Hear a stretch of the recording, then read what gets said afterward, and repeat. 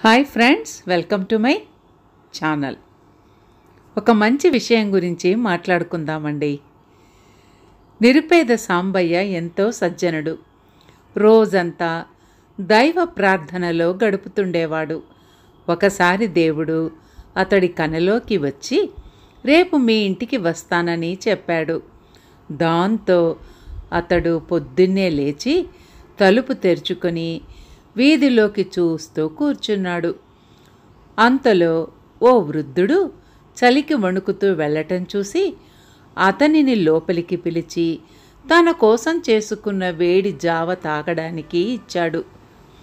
ఇంకాసేపటికి పండ్లమ్ముకునే అవ్వ ఆ తర్వాత బిడ్డనెత్తుకున్న ఓ బిచ్చగత్తె అలా అటుగా వెళ్తున్న ఆర్తులను పిలిచి మంచినీళ్ళో మజ్జిగో ఇచ్చి సేద తీర్చి పంపుతూనే ఉన్నాడు.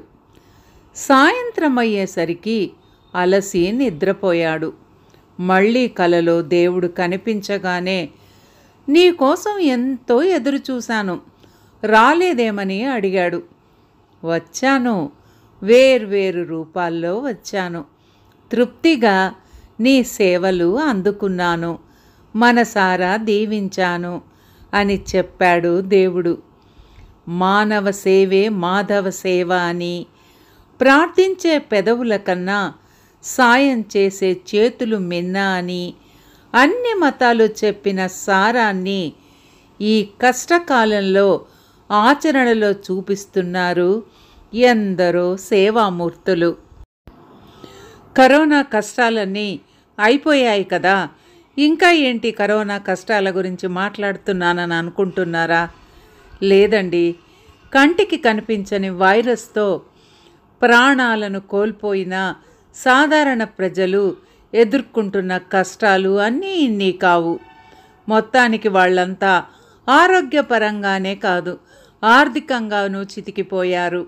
అంతేకాదండి పిల్లలకు చదువుకోవడానికి కావలసిన సౌకర్యాలు లేవు. పెద్దలకి ఇంకా ఉద్యోగాలు సరిగ్గా రాలేదు. ఇంట్లో ఉన్న వృద్ధులకు మందులు కొనడానికి డబ్బులు లేవు. సామాజిక జీవనం ఇంకా అల్లకల్లోలమైన పరిస్థితులలో ఇంకా ఇంకా వారికి ఉన్నంతలోనే చేతనైన సహాయం చేసే తోటివారు కావాలి.